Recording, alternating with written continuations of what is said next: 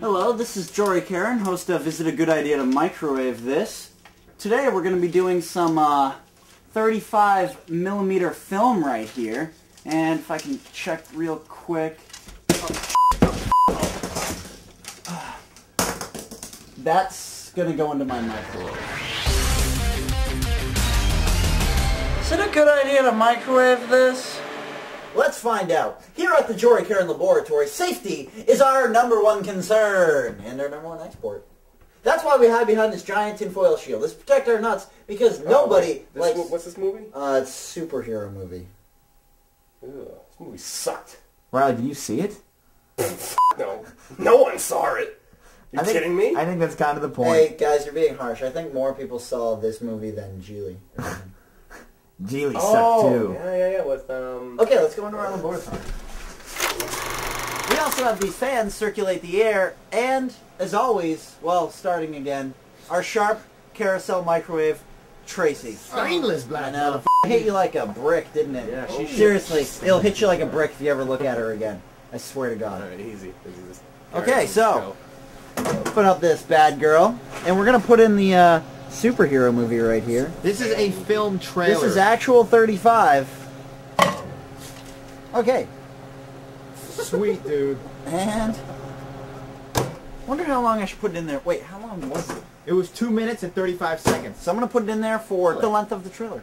So two minutes and 35 seconds. Now all there is left to do is just to get the out of here. Dude, I can't see a thing. Dude, this is just about exciting a superhero movie. You sounded like Arnold Schwarzenegger there. Here in California, we have many superheroes. Yeah. I played a superhero in the movie Kindergarten Cop. Oh, yeah. And then Stallone comes in as well.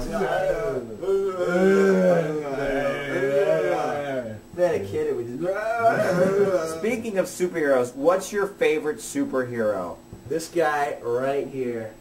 Batman. Oh, Jesus Christ. Batman. Jesus Christ is your superhero?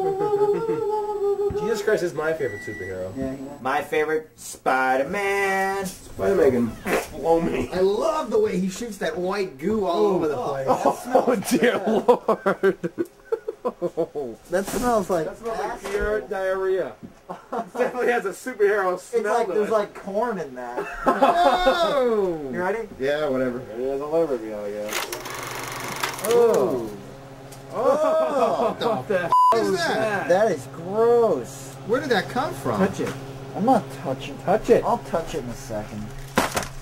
That's like a fat girl's legs. Is So- that from the film? Yeah. What is it? Uh, I don't know, but it's hot enough to go right through the glove. F- that crap up, dude. That's That Wow. film trailer's never gonna spool again. Oh my god. You created a Cloverfield monster. Yeah, you may be wondering, is it a good idea to microwave a 35 millimeter trailer? I'm gonna go ahead and say uh, no, only because uh, that's a lot of frames of not coolness. Yeah, more so than the original movie. Yeah, probably. and I mean, like, here's the thing: you cut off the title on that, you hang up the the strips. Your friends won't know what the movie is for, so you can just tell them it's Pulp Fiction or something. Something, something cool. awesome. Not that piece of shit. That movie. that just stinks. It smells really bad. That's Really? about it for. Is it a good idea to microwave this? I'm your host, Jory Caron. Have a great night.